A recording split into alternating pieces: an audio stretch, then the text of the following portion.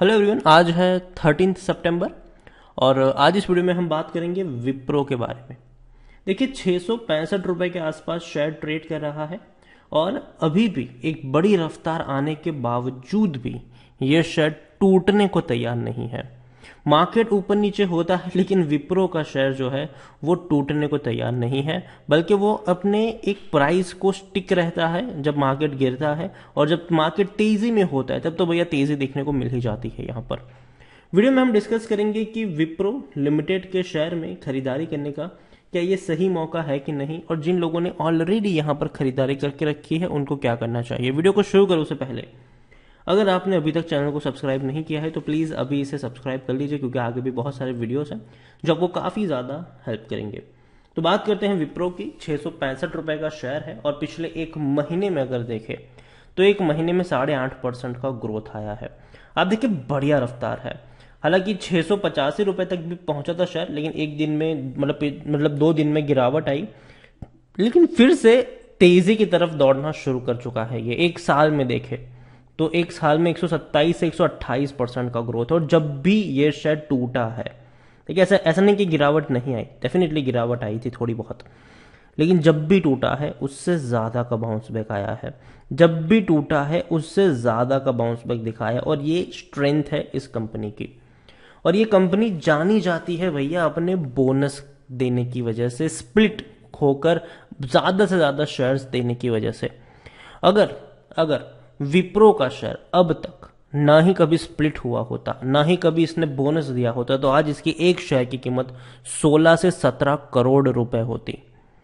MRF से कई ज़्यादा बड़ी। हम एमआरएफ को कहते हैं कि भैया बहुत महँगा शेयर क्योंकि एमआरएफ कभी स्प्लिट नहीं हुआ, ना ही उन्होंने कभी बोनस दिया। इसलिए एमआरएफ का शेयर आपको महँगा लग रहा है। लेकिन विप्रो विप्रो ने भैया लोगों का कई ज़्यादा कई ज़्यादा गुना पैसा बना कर दिया है और ये खूबसूरती होती है ऐसे शेयर्स की और लॉन्ग टर्म के लिए शेयर में बने रहने की।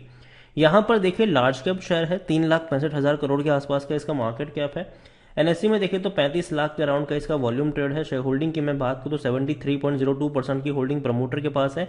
9.83 परसेंट की होल्डिंग एफ़ आई परसेंट की होल्डिंग म्यूचुअल फंड 3.75 परसेंट की होल्डिंग इंश्योरेंस कंपनी के पास है। देखिए डिविडेंड कोई खास पे नहीं करता है ये। मुश्किल से आपको एक रुपये पर शेयर का डिविडेंड मिलेगा, वो भी सालाना। लेकिन जो यहाँ पर बेहतर चीज़ है, वो यही है कि बोनस और स्प्लिट ये हर बार हुआ है यहाँ पर। और इसी से सबसे ज़्यादा लोगों को फ़ायदा भी हुआ है।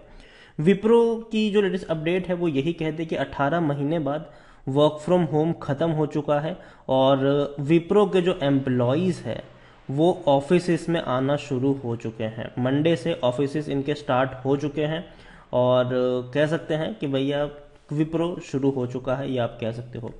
विप्रो के बारे में अगर हम देखें तो technique according to Moneycontrol user 83 percent लोग खरीदने की सलाह दे रहे हैं 8 परसेंट लोग बेचने की बात कर रहे हैं 9 परसेंट लोग यहाँ पर होल्ड करने की नसीहत दे रहे हैं और टारगेट्स अभी भी देखा जाए तो 650 सॉरी 670 675 के आसपास के हैं।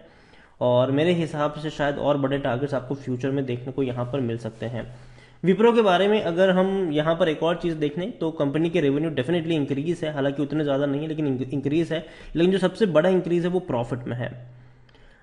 अच्छा प्रॉफिट इंक्रीज है। 2021 में अब तक का हाईएस्ट प्रॉफिट कमाया है दस करोड़ का। जो कि बेहतरीन है, शानदार है।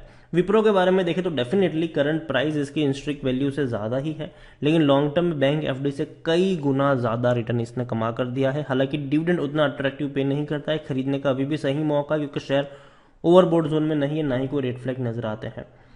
अपने ऑल टाइम हाइस पर बैठे होने के बावजूद इसका पी रेशियो तैंतीस का है, जबकि सेक्टर पी थर्टी एट है। तो भैया उतना महँगा अभी भी नहीं है। इकतीस परसेंट एनालिस्ट खरीदने की बात यहाँ पर कर रहे हैं विप्रो में। शेयर होल्डिंग की मैं बात करूँ तो देखिए लोगों के पास, पब्लिक के पास कुछ खास क्वांटिटी नहीं है यहाँ पर। भले ही आपको रिटेल और अदर्स के पास साढ़े ग्यारह परसेंट की होल्डिंग देखने को मिली है, लेकिन जो कोर रिटेलर्स है मतलब आप और हमारे जैसे लोग, उनके पास सिर्फ़ ढाई परसेंट की ही होल्डिंग है। अदर पार्टीज़ जो बड़ी बड़ी पार्टीज़ है, उनके पास तकरीबन 8.95 परसेंट की होल्डिंग है। बड़ी होल्डिंग्स एफ़ के पास भी है, म्यूचुअल फंड के पास है, डोमेस्टिक के पास है प्रमोटर सबसे ज़्यादा होल्डिंग लेकर बैठे हैं, जो बेचने को तैयार नहीं और ना ही बेचते हुए आपको आने वाले दिनों में भी नज़र आएँगे। विप्रो को लेकर मैं यही कहूँगा कि देखो, विप्रो, देखिए, कुछ शेयर्स हमेशा ऐसे होते हैं पोर्टफोलियो में, जहाँ पर आप शॉर्ट टर्म का गेम खेलते हैं, जहाँ पर आप ट्रेडिंग करते हैं। लेकिन कुछ शेयर्स ऐसे होते हैं जहाँ पर आप ट्रेडिंग नहीं, बल्कि इन्वेस्टमेंट करते हैं लॉन्ग टर्म का पर्सपेक्टिव लेके चलते हैं। तीन चार साल के लिए आप यहाँ पर ये मान के चलते हैं कि भैया, आपका पैसा यहाँ पर सेफ़ भी रहेगा और आपको बढ़िया रिटर्न भी यहाँ पर मिलेगा। और विप्रो उन्हीं में से एक शेयर है। पिछले एक डेढ़ साल से मैं वीडियो के विप्रो के ऊपर मैं वीडियो बना रहा हूँ। ऐसा नहीं कि जब तेज़ी आई तभी मैं आपको बता रहा हूँ। अगर आप चैनल को रेगुलर फॉलो करते हो, पिछले डेढ़ सालों से विप्रो के ऊपर मेरे वीडियोस हैं और हर बार मैंने कहा है, खरीदारी करो। जब भी टूटे, खरीदारी करो। जिस लेवल पे मिल रहा हो, खरीदारी करो। लेकिन टुकड़ों में करो, ठीक है? अपने ऑल टाइम हाइस पर बैठा हुआ है तो ऐसा नहीं होना चाहिए कि आपको सौ शेयर खरीदने, आपने सौ के सौ शेयर अभी के अभी खरीद लिए। यहाँ पर आप अगर सौ खरीदने, पच्चीस खरीदो। पंद्रह बीस रुपए की गिरावट है और क्वांटिटी ऐड कर लो यहाँ पर। और लॉन्ग टर्म का गेम खेलो विप्रो में लॉन्ग टर्म का। शॉर्ट टर्म का नहीं लॉन्ग टर्म का। बढ़िया प्रॉफिट आपको लॉन्ग टर्म में देखने को मिलेंगे।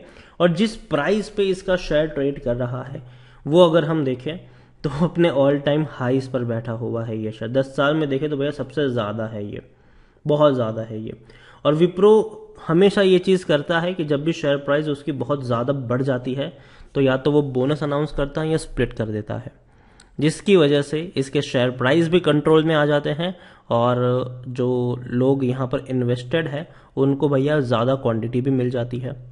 तो मैं यही कहूँगा कि विप्रो बने रही है और कई बार इन्होंने बोनस भी दिया है और कई बार ये शेयर स्प्लिट भी हुआ है और सबसे ज़्यादा फ़ायदा उसी जगह पर हुआ है।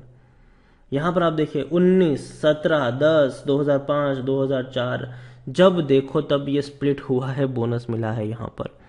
विप्रो में मेरे हिसाब से बने रहना चाहिए इस शेयर को कभी भी नहीं बेचना चाहिए। देखिए आईटी कंपनियाँ आने वाले समय में, में भी बहुत ज़्यादा फोकस में रहने वाली है।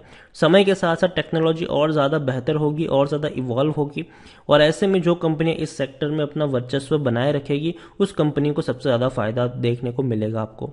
और विप्रो मेरे हिसाब से बेहतरीन कंपनी है। यहाँ पर अभी के लिए मुझे लगता नहीं कि डरने की कोई ज़रूरत है। बने रह सकते हैं आप यहाँ पर।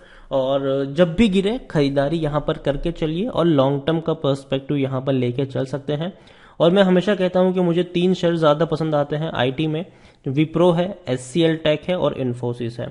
इन तीनों के ऊपर आप चाहे तो फोकस कर सकते हैं। खास करके अभी जो इन्फोसिस में जो पूरा पूरा जो मामला चल रहा है सरकार और इन्फोसिस का उसमें अगर थोड़ी सी भी गिरावट आती है शेयर में तो वो खरीदारी के मौके होंगे। पैनिक में आकर बेचने की यहाँ पर ज़रूरत नहीं है। लॉन्ग टर्म का नज़रिया बनाए रखे और जब भी टूटेगा, खरीदारी के ही यहाँ पर मौके बनते हुए नज़र आ सकते हैं। वीडियो को यहीं पेंड करूँगा।